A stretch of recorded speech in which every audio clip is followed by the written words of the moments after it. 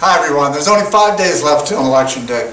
We need your help to ensure a strong victory, and we will be making phone calls and knocking on doors to help remind people to go vote. Thanks again for all your support, and please remember to take someone with you when you go to vote on Tuesday, May 4th.